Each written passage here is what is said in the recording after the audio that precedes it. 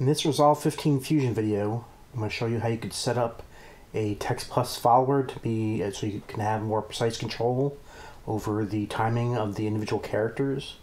If you don't know what a um, follower in the Text Plus node is, it allows you to do an animation on the characters, but it will uh, work on them at one at a time. So instead of having the entire, say, uh, word here resolve move from the center to the left, if you set up a follower in the text plus node, then it'll start off with the first character, and each character will then move a set amount of time after a set number of frames.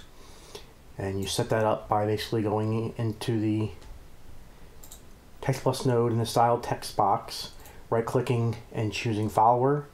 And once that happens, uh, it opens the modifiers tab here. And then our follower, follower, you have different parameters you can change.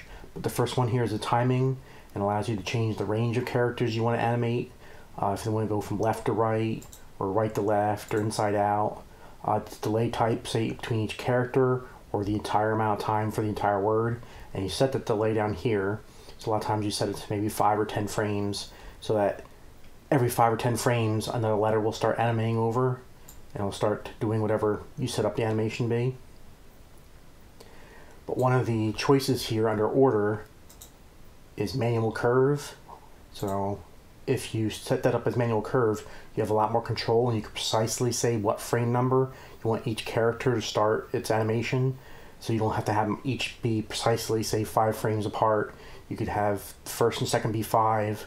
You have the third one come in 40 frames later. You have the last one be 200 frames later, whatever you want set. So I kind of show you an example here. I already have it set up on this node here. So we'll start at the beginning and you'll see the difference between the two. So when I hit play, see each one of these is exactly five frames, but each one of these gets longer and longer delayed until the last letter actually didn't even start moving to the 120th frame. That way you can have precise control over when the different characters will start their animation. So that's just, it gives you a little more control, uh, makes it a little bit more powerful, how you can customize it. So I'll show you how to set this up. So I'll start by adding a new text plus node. And I'll put that into first viewer here. And I'll get rid of this second one here so we don't need to see that. So I'll add some text in, the same text, resolve. Make it a little larger so it's a little easier to see. And I'll zoom in a little bit. Okay, so now to set up the follower, right click in the box here, the style text, choose follower, and then that activates the modifiers tab here. So here's all the different settings. So actually back this out a little bit so I can, so we're going to be modifying it so that it uh, animates and uh, moves to the left. So first we want to set the timing, so we're going to set that to, instead of left to right, come down to manual curve, and I'll show you how to set this all up and we'll go to the shading tab. And this is actually where the position is set up here to offset. So that's what we're going to animate. So we'll make sure this is at the beginning frame zero set the animation and we'll move to about 120 and we'll come down here and we'll move the position to the left. So you can see it moving here so I'll move it about negative one to the left or so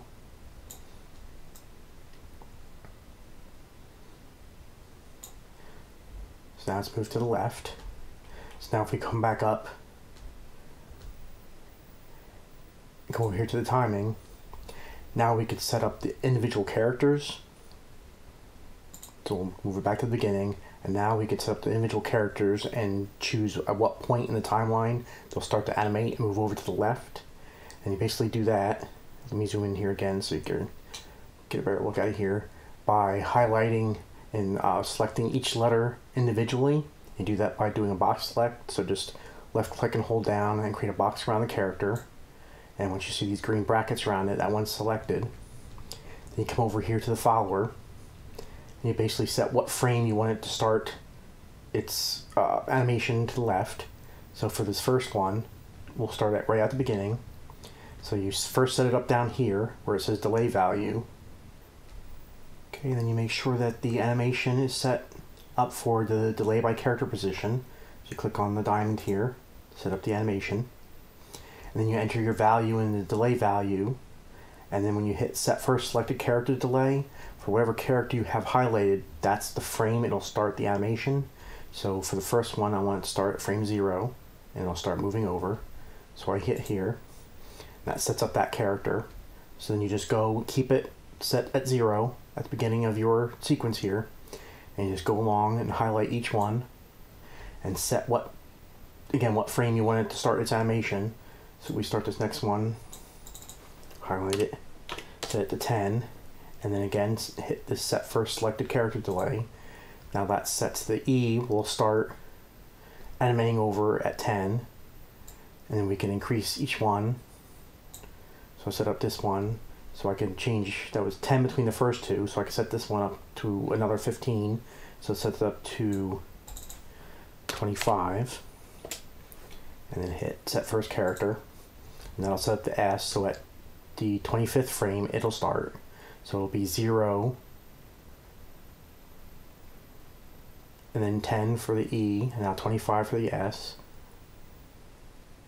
So now I can set this one up for say 40, 40th frame, and hit again the set first selected character delay and do that for each character.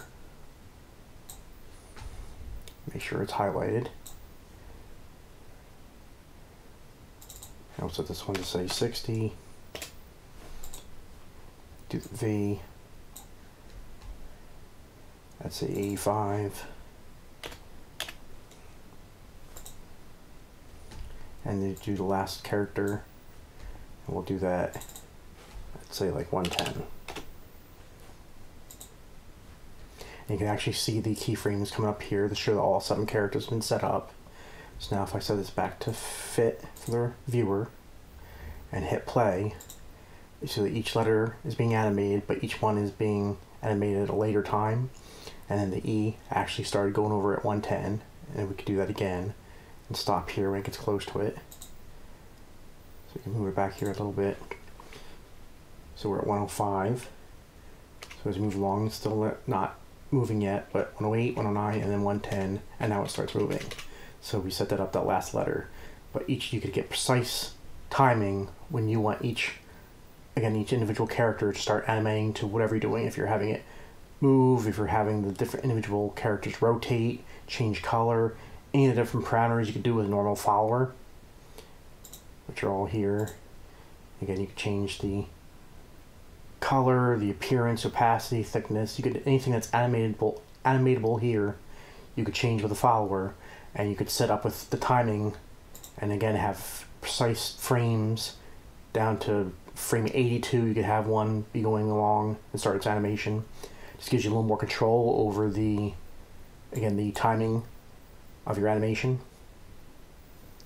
so hopefully you found this video useful uh, I, it just took me a little while to actually figure this out because it's not I didn't see it in the manual just a mention of it, but not actually how to implement it. So it actually took me a little bit of time to figure out actually how to get it, a little trial and error. But it does seem to be very handy and gives you, again, more control over the animation of your follower. So I hope you found this video useful, and I do thank you for watching.